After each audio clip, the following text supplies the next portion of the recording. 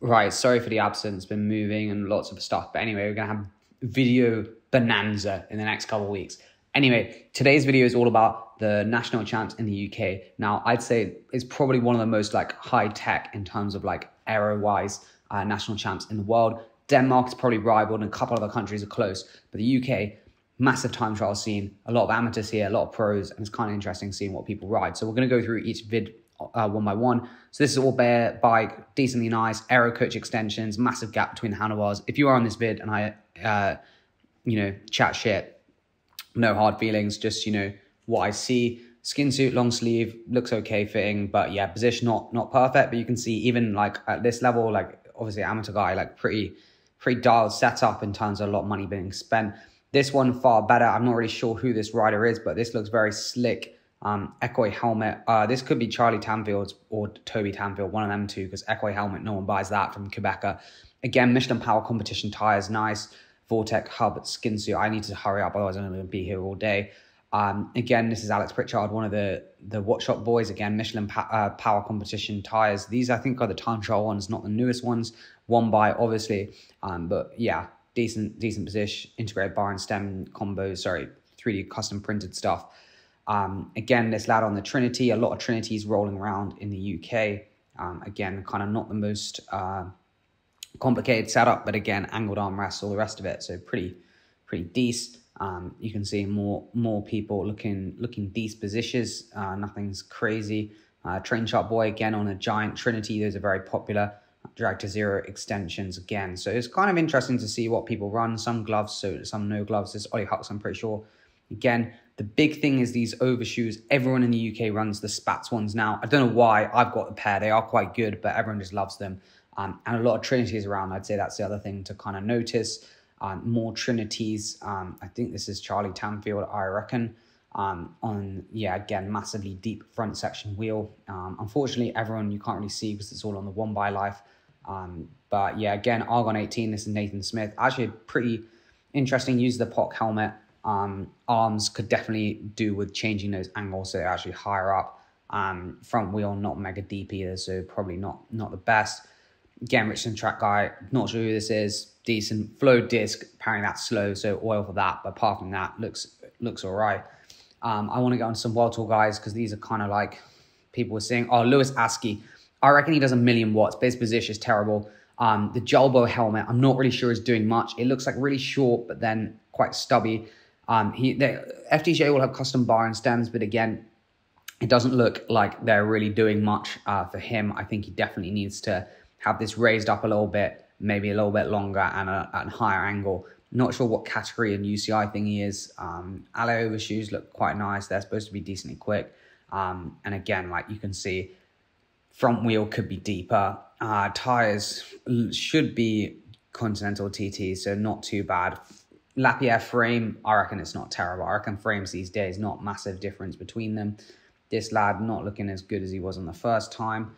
Um, again, disposition, disposition, but um, I'll get through to some more World Tour guys. Um, again, Charlie Tanfield, obviously strong because uh, he is good on the track.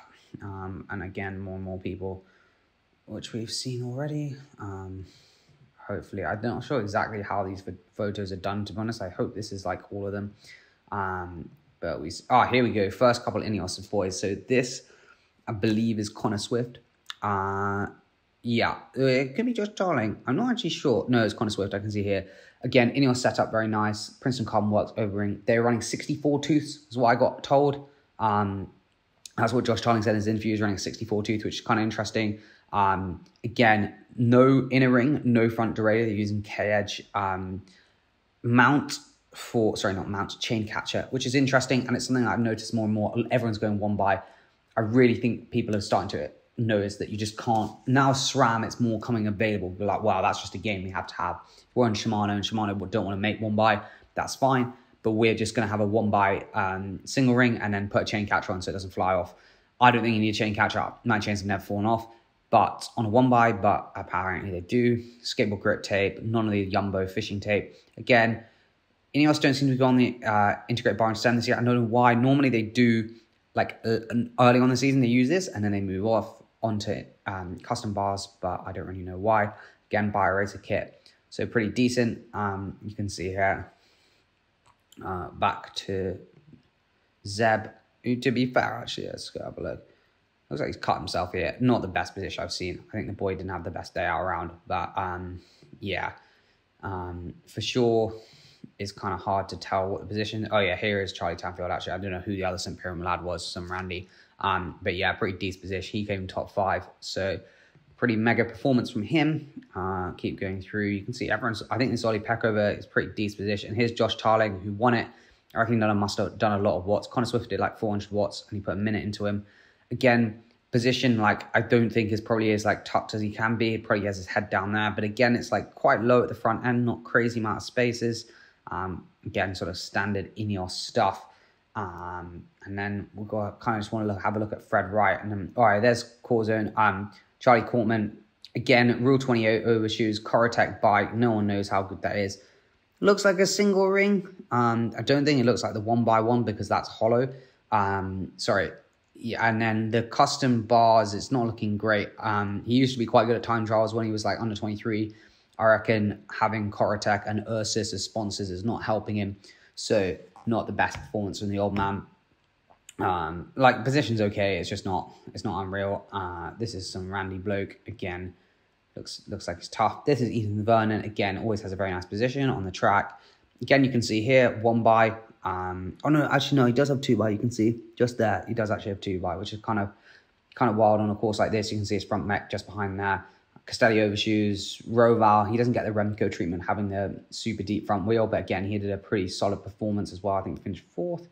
Um, but yeah, or maybe maybe it actually was. Uh, but yeah, the, uh, the little sock thing, not wearing it, but does have the Aero helmet from Specialized on that Tacx bottle cage. So decent decent position. Um, I just want to see, we're almost done. This is John Archibald again, Mr. Mega Arrow, 100 mil front wheel, uh, nice disc, uh, one by, wax chain for sure, uh, nice POC, which you don't see too much. But yeah, again, a classic, a classic UK time trial position um, that we see. Uh, more of some other St. Piran boys who we just need to hop through because we've already seen them.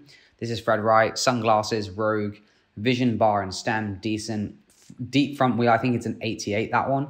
Uh, he's running, I'm pretty sure you can see front derailleur there, so I'm pretty sure he's running two by as well, which is kind of a shame for the big man, but he was a minute off, so it is what it is. Um, but yeah, again, not bad position. I reckon when he gets his head down, it's pretty outrageous. I think the only person we're really waiting for after this is Dan Bigham, um, who will come back around. I'm not exactly sure. Oh, here we go. Here's Dan Bigham. So again, on a Cervelo P5, I'm pretty sure rim brake, tri-spoke, disc, one by, Wattshop extensions, uh, Kask Mistral, I'm pretty sure that is. Um, so yeah, pretty pretty standard stuff. So that's basically it from the men's. Pretty interested to see what people are doing. Um, again, BioRacer overshoes from Ineos, but he's wearing his own Hub skin suit. Right, so we've got Alan Backstead. We'll try and see if there's a bit more a bit more content. So there's 5 Georgie. Again, mega position. Um, there's not really much more to say. Sunweb just standard Shimano content. Uh, nothing more really to see. Decently deep front wheel, to be fair. Probably not a standard Shimano. Um, everything else, nice bar and stem. That's the new Scott Plasma, which I did a video about recently. Um, again, the guy's taking a million photos. Uh, there's again another like decent position, pretty low to be honest. Colnago, don't see that too often. The rim brake one, don't really know um, exactly. There's Dame Sarah Storey, Boardman bike, integrated, like um, nice custom handlebars and all the rest of it. Pretty decent. Um, she's been on the wall for some time. Kask Mistral gold helmet. Anna Henderson always on the Jumbo train. You can see looking pretty aero. But Lizzie Holden behind on the UAE setup. And again, pretty very good position, I'd say. Narrow shoulders, helmet looks like it fits well. Um, so yeah, pretty strong position. Anna Henderson won last year, I'm pretty sure. Um, so yeah, not that position is just pretty ridiculous to be honest. Um, you're not really gonna beat it too much. I'm not sure if she's on the new, the new Colnago. Uh, it looks like, oh, is it? I can't really tell from here actually if it's, ah, uh, yeah, I think it is the new Colnago. Um, couple, must have a bike, a mechanical or something, big oil. Um, going to go through positions again, like what you can see, like no overshoes here, not deep front wheel, all the rest of it, kind of disaster to be honest, aero wise. Um, not a terrible position here. Um, again, Giant Trinity, uh, head down, not too bad. Lenticular disc wheel, rotopalmia, standard stuff. Um, again, kind of just like not too much to criticize here. Probably just exposed cables, but like budget is, but what what it is. Um, no one's kind of got radical stuff at the moment. This all looks pretty pretty standard. Yet to see anything like too exciting. POC, wild POC flies out. Um, again, like an older Rim Brake Canyon, um, kind of one by. Um, I just want to see some of the World Tour people because to be honest, uh, skipping through this, there's nothing too revolutionary on any of this, but I'm not sure when the World Tour riders will come up. Just interesting to see kind of how the women's is different to the men's, but pretty similar to be honest. Like very slight like different budget, but more or less um, everyone's in the UK knows what you need to do. Uh, that's Hayley Simmonds, who's won a lot of time trials. Um, she was national champ, uh, as you can see from her kit. Again, like not the deepest front wheel. I thought it'd be deeper with Aero Coach. She's running an inner ring. That pretty sure that's an inner ring. Rogue is a mega fast course. Overshoes obviously. Disc wheelers, uh, Aero Coach, Aero Coach handlebars as well. She looks like she's got the Roglic issue. That helmet looks mega mega high. I guess the thing is when you've got your head down, you can then see through it. So you actually wear your helmet kind of wrong, and it does help. Speed blades as well helps reduce stack height, which is always mega. Um, pictures of cars, and then um, this could be a long video to be honest. There's Katie Archibald looking pretty arrow as well. Very low position, quite an old school position, one, one could say. Um, looks like courses on it. Um, again, tyres, I reckon, Corsa Speed versus GP5000 time trials. Not a massive difference compared to what it used to be. Um, and it looks like we're going back in circles. I think we may not be able to see any of the World Tour riders, unfortunately. But anyway, I think all in all, you can kind of see UK scenes. Pretty people are pretty dialed on it. Um, you know, pretty focused on the one by, pretty focused on just like narrow positions. Interesting helmet choices from everyone as well. A couple of POCs. Um, but yeah, it's kind of interesting to see. 64 tooth, biggest chainring I think I've ever seen in a time trial. I reckon it makes a lot of sense. Um, but anyway, cheers for watching. Hope you enjoy this video, and I'll see you in the next one. Dude.